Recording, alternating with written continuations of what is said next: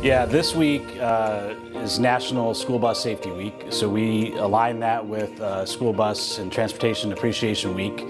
Um, you know, we've always invested in this um, employee group in our district. Uh, they are our first point of contact for our students. They're the ones that are welcoming them on the bus. Uh, how are you doing? Checking in with them, um, building those relationships and they're the last ones that they see is before they go home. Uh, the relationships that our drivers build with our students just sets them up for success each and every single day. We're honored to honor them and we certainly want to make sure that from the secretarial staff in the transportation department, the garage staff, obviously all the drivers and monitors, we just can't say thank you enough for all the work that they do. I, I, love my bus drivers. I love my office staff. I could not come into work every day if I did not have them. Became a bus driver initially, honestly, it was um, because it worked with my school schedule.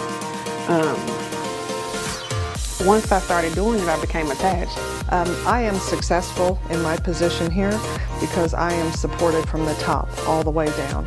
Um, I could not take care of my team, um, my bus driving staff, uh, the community, all of our students. I could not do that without the support of the administration building, and that means everything to me. We truly appreciate everything you do, um, and that's really been part of this the celebration this whole week is to let our entire transportation department understand just the role, the critical role you guys play in this district. Uh, the first line of defense is sometimes the last line, and you need to feel supported and you need to know that you're valued, that you're that you're important. If you want a job that is fulfilling, um, if you're part of overall operations that make school work and work for our, for our kids and our community, what better way than to serve in the transportation department?